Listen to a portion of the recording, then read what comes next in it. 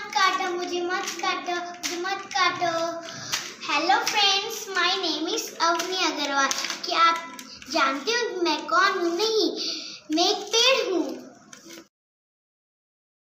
आपको ऑक्सीजन देती हूँ, फल फ्रूट देती हूँ, लकड़ी देती हूँ, फिर भी आप मुझे काटते हो।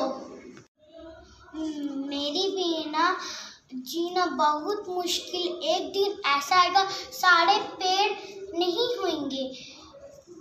धरती रेगिस्तान में बदल जाएगी।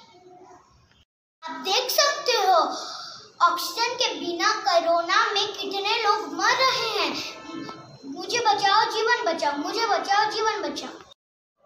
धरती करे पुकार पर्यावरण में लाओ सुधार। पेड़ बचाओ, जीवन बचाओ, पेड़ बचाओ, जीवन बचाओ। मुझे मत काटो। 的。